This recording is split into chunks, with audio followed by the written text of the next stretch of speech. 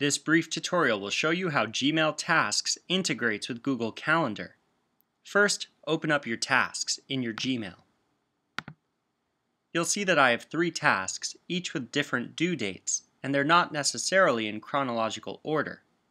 I can change that by going down to Actions, Sort by Due Date.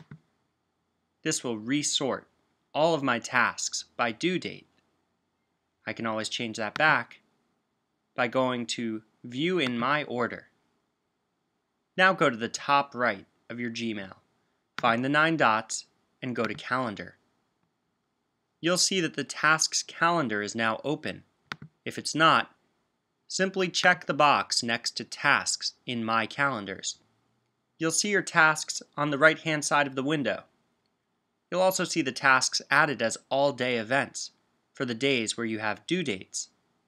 If you check a box next to a task in Calendar, it will change it on your task list as well. You can see your tasks by day, week, month, four days, or Agenda View.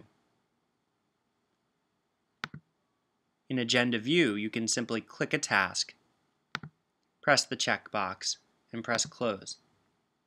In this way, Gmail Tasks is integrated completely with Google Calendar.